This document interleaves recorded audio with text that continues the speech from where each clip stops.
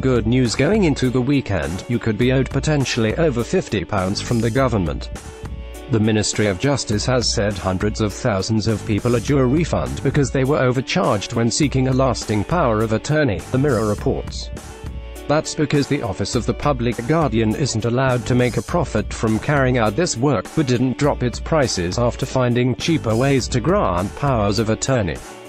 The Ministry of Justice is only supposed to charge enough to cover the cost of providing the service, but the large number of applications meant it made a £89 million surplus, which it now needs to repay, said Rachel Griffin, tax and financial planning expert at Old Mutual Wealth.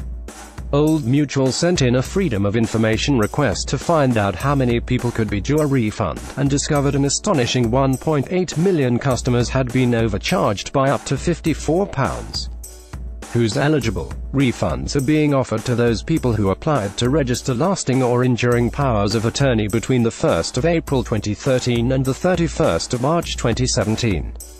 You only need to make one claim for each donor, even if you made more than one power of attorney. You can claim for a refund if you're the donor, the person who made the power of attorney, an attorney appointed by the donor in an LPA or EPA. The refund must be paid to the donor. Depending on when you applied, you'll get between £34 and £54 with 0.5% interest added. However, if you paid a reduced fee, you'll only get half the refund. How to claim You only need to fill in one form to make a claim, it takes about 10 minutes. There's full guidance online and a dedicated helpline. You can apply online here. If you're using the helpline, call 0300 456 0300 and select option 6 to be put through to the refunds team.